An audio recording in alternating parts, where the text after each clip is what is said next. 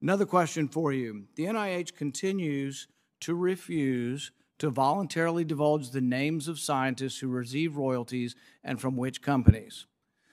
Over the period of time from 2010 to 2016, 27,000 royalty payments were paid to 1,800 NIH employees. We know that not because you told us, but because we forced you to tell us through the Freedom of Information Act.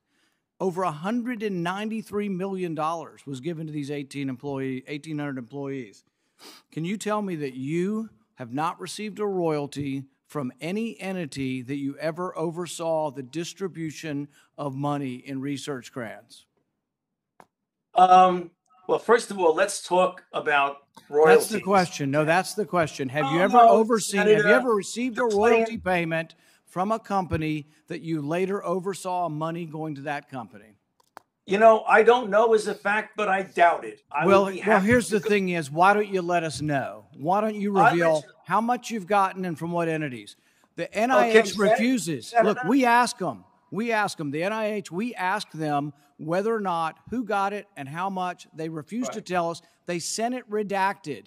Here's what I want to know. It's not just about you. Everybody on the vaccine committee, have any of them ever received money from the people who make vaccines? Can you tell me Uh, that? Can you tell me if anybody on the vaccine approval committees ever received gonna- any are you gonna money from me people who answer make a the question? vaccines? Soundbite number one. Are you going to let me answer a question? Okay, so let me give you some information. First of all, according to the regulations, people who receive royalties are not required to divulge them even on their financial statement, according to the Bayh-Dole Act. So let me give you some example. From 2015 to 2020, I the only royalties I have was my lab and I made a monoclonal antibody for use in vitro reagent that had nothing to do with patients.